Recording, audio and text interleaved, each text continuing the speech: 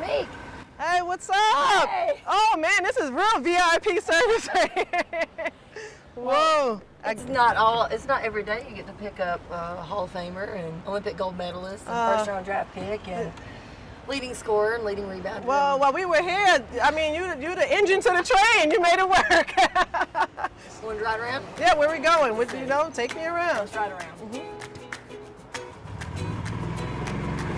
I think one of the really cool things about our program, and it's our program, Oh, right? yes, It's definitely. Are our alums.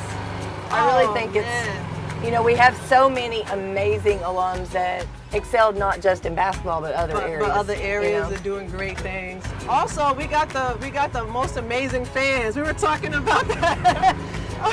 How you'll still run into the same ones. same, same same one, same seats. And the thing about alums, I think they're just they're just so passionate about the program and want so much for this program to succeed. oh yes. You know, and um, are always there pulling for uh, this team, and it's really cool, really special.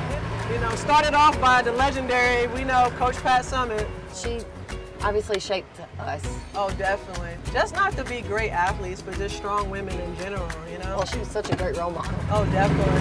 And I think not just a role model as a coach, uh-huh. but a role model as a mom. Yes, definitely. You know, and we were able to watch firsthand what it looked like to be a professional woman who was also a mother and a great mother. Oh, You know, definitely. Um, I had a flashback yesterday though when I was like watching Jackson and like he was there after he got out of school and you're hugging him. I thought about Pat and Tyler.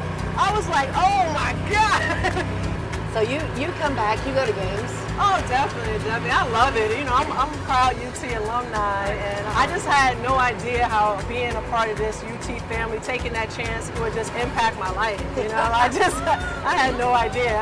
We had no idea what we didn't know, right? No, no idea. But we sat down before we came to campus. We were seniors in high school and said, "Hey, when we go, let's win four national championships." Man, we had no idea. You know, we wouldn't even get close to that. yeah, we almost got it. Almost. I'm still I'm still bitter. Almost.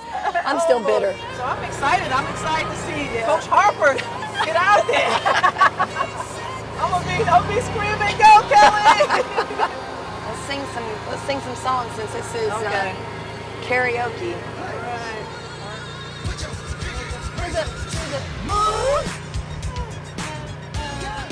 What y'all trying to do?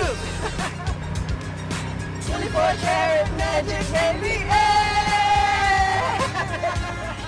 Hold on, hold on. We're on, we're on. Hold on. you know what I remember? What? I'm six foot two. I'm coming straight at you. Oh, no, hold on, hold on, come hold on, hold on, oh, come hold on. My name is Meek. My style's unique. I'm six foot two, coming straight from you, and I roll with the illest crew. The L, the A, the D, the Y, the V, the O, the L to the S. And when we step on the court, we're always the best.